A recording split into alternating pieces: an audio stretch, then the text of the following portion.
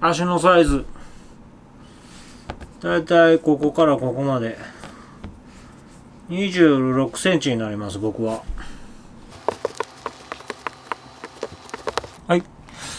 今回は27.5、うん、ちょっと実物見の初めてなんですけど、うん、質感まあめちゃめちゃええし、まあ、結構あの思ったよりなんか硬い硬いですね。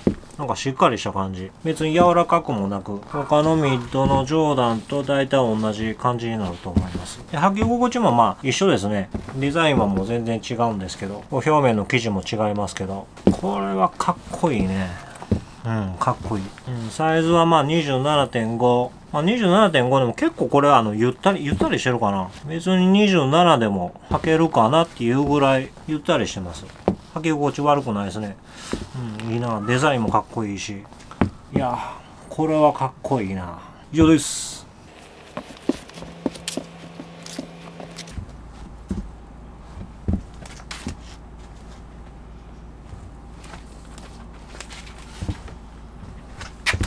はい。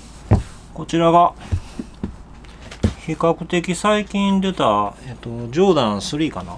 これもあのサイズが27半になります。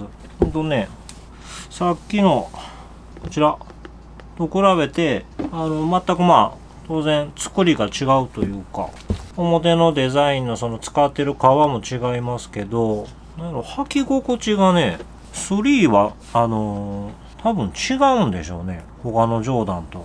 なんやろな。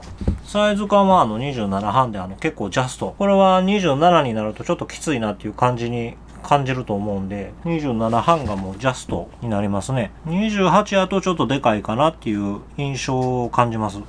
で、結構クッション性が高くて、履き心地がすごい、あの、ジョーダンの中やったらこの3はすごいいいですね。ちょっと気づけへんかったけど。うん、これも実際写真で見るより、実物やっぱり履くと、うん、全然かっこいい。